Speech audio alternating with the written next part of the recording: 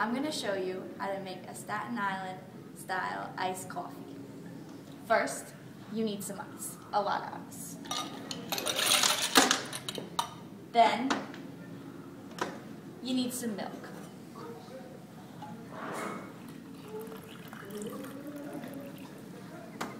Then, you need some sugar.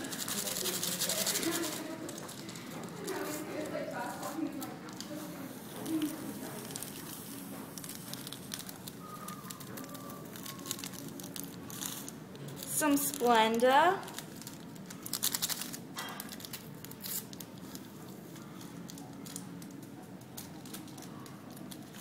Sweet and low.